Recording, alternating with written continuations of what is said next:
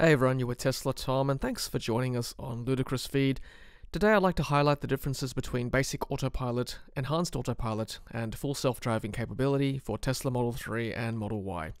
Before we get into the differences, I'd like to make it clear that this information is very specific to my situation living in an urban area in Sydney, Australia in June 2022. These features may actually be different in your part of the world depending on laws and regulations in different markets. So let's begin with basic autopilot, and this feature is actually included with all new Tesla Model 3s and Ys in Australia. And as per the Tesla website, basic autopilot enables your car to steer, accelerate, and brake automatically for other vehicles and pedestrians within its lane.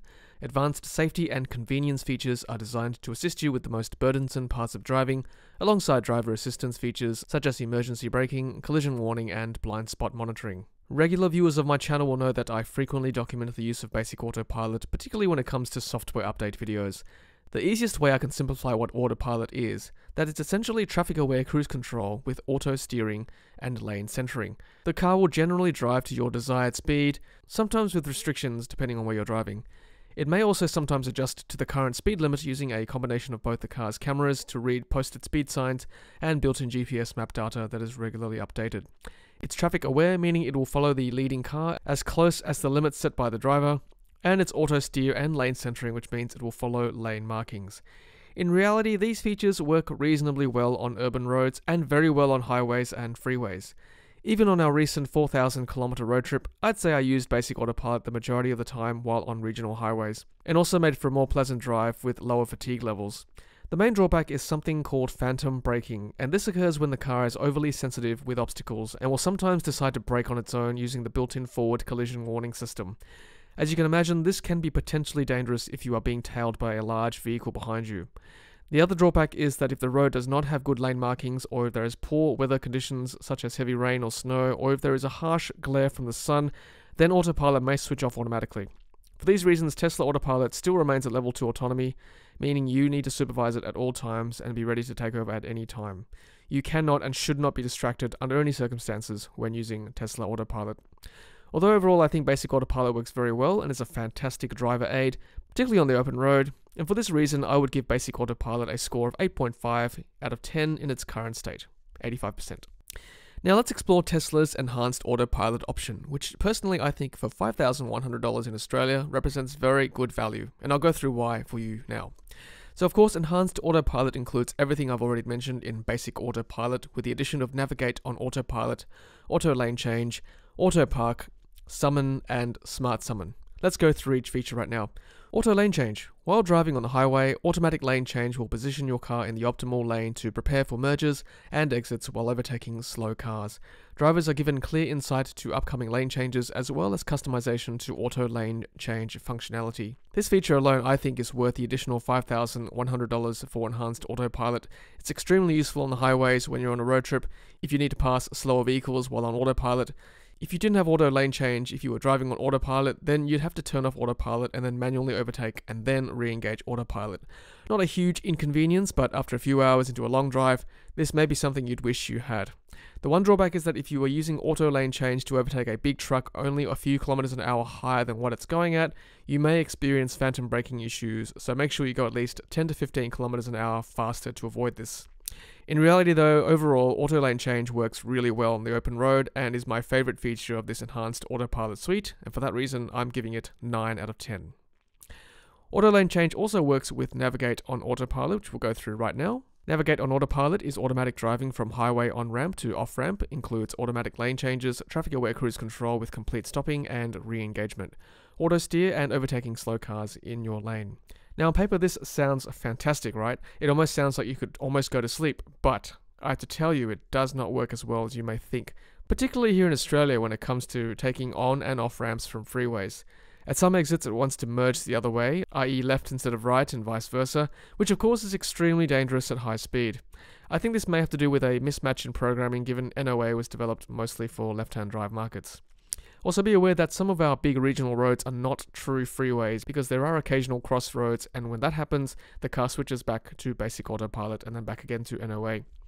Auto lane change does work with Navigate on autopilot, and you can set how aggressive you want the car to change lanes, and the tolerance can be customized from mild all the way to Mad Max mode, which you can imagine what that's like. You can also customize whether you allow the car to lane change by itself, with or without confirmation, depending on how well you can hold your nerve. I don't use Navigate on autopilot much anymore, and I don't think we used it at all during our 4,000 kilometer journey, and for this reason, I'm giving it 5 out of 10. It's just not reliable enough for me, and it does freak the wife and kids out. Sorry, Tesla. Also, NOA remains at level 2 autonomy because you do have to take over and supervise at all times. The next feature is Auto Park. Park with ease in parallel and perpendicular parking spaces with a single button tap on the center display. Model Y will alert you to available parking spots by continuously monitoring the space around you. And nowadays the car uses camera only auto park, and I've only so far managed to get it to work with perpendicular parking since they changed over to camera only and not parallel parking. I'll have to try it again with Model Y when it arrives. I gotta say, it's also slower than how I would park with my level of experience and skill, and I personally don't feel comfortable using it in a busy car park with a whole line of cars waiting for me to park on auto park. For this reason, I'm scoring it 6 out of 10. Now, for summon, there are two parts there's basic summon and there's also smart summon. According to Tesla, summon is activated by the Tesla app. Your parked car will come find you anywhere in a parking lot and even park or unpark itself in tight spaces. Summon navigates complex parking situations while abiding by lane markings and stop signs, avoiding pedestrians and obstacles like traffic cones, trash bins, and rogue shopping carts. Now, Basic Summon is potentially handy if you have a very tight parking space, and this is using your Tesla app as a remote control to drive the car in straight lines. I think this works reasonably well. For that, I'm giving it 7 out of 10. Smart Summon, though, is a different kettle of fish, and it is like Summon but in two dimensions. And again, using your Tesla app, you can retrieve your car in a parking lot there are limitations to how far away your car can be. I guess potentially it is useful if it's raining heavily and you've got a whole lot of shopping bags. Again, one of those features that sounds great in theory, but in practice, it's a risky exercise in a busy parking lot. I've never actually personally tried it outside of testing it for the channel or showing it as a party trick.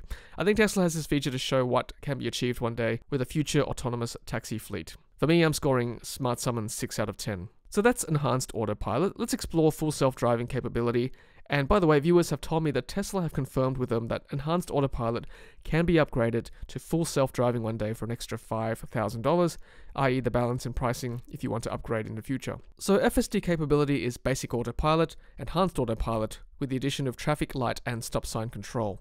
Traffic light and stop sign control is designed to slow down and stop for visible traffic lights or stop signs that are detected when traffic aware cruise control or auto steer is engaged. This slide says Tesla designed silicon optimized for computer vision enables detailed on-screen environment visualization and eventual full self-driving capability through over-the-air software updates. Now please note that all new Tesla Model 3 and Model Y vehicles will have the full self-driving computer installed in the vehicle. You just have to pay, of course, for the software to be enabled. All cars will show traffic lights and other visualizations on screen while driving, but you will need to add FSD capability for the car to react to traffic lights and stop signs. If you're the first car at a traffic light and if it turns red, the car will stop. For a green light, if you are following a line of cars, it will automatically go on the green. However, if you're the first car going through a green light, then you'll have to confirm either with your accelerator pedal or by tapping down your right stalk. Now, the biggest benefit of FSD capability is the potential to test auto steer on city streets, otherwise, what's commonly known as FSD beta in the US and Canada. There are plenty of videos online showcasing FSD beta, with Elon Musk tweeting recently that there is a possibility of FSD beta dropping in right hand drive markets later this year. Of course, if you don't wish to experience this higher level of autonomous driving, then FSD beta is not worth the extra $5,000 just to have the extra traffic light and stop sign controls, which to be really frank, it can be a bit annoying currently having to confirm green lights all the time anyway. So for FSD capability in its current state in Sydney, Australia in June 2022, I'm giving it 5 out of 10, as I don't feel it's really worth it. I would have scored it lower if not for the fact that Elon Musk has previously said that once FSD beta hits your market, then prices will rise. So if you want to lock in today's FSD price to safeguard against a future rise, then it might be worth that extra $5,000 for you. So, in summary, I've given Basic Autopilot 85%. Enhanced Autopilot as an aggregate score is 33 out of 50 or 66%. Keeping in mind, I gave Auto Lane Change 9 out of 10, with that alone being worth the $5,100 for Enhanced Autopilot, in my opinion, and FSD capability at today's standard 50%. So you can see that basic autopilot included with the car alone is excellent value by itself. An enhanced autopilot with the auto lane change presents excellent value particularly if you plan to take long trips in the future. To finish up from my Australian viewers, last time Enhanced Autopilot was offered in Australia, it was only for a very short period, but I have a feeling this time around it'll be here to stay, given Elon Musk showed in a recent tweet that he would expand it to other markets worldwide as well. Also, if you recently managed to order Tesla Model Y in Australia before the recent price rise, then congratulations. If you're considering adding EAP or FSD to your purchase, I would strongly suggest calling or emailing your Tesla rep instead of doing it yourself online because you'll note that when you review your new edition, it will take into account the new higher MSRP pricing of the car. And of course, you wouldn't want to do that because prices did rise significantly across the board. Also, adding EAP or FSD pre delivery puts you at risk of going over the luxury car tax threshold in Australia. You can avoid some, if not all, of the LCT if you add it after taking delivery via your Tesla app.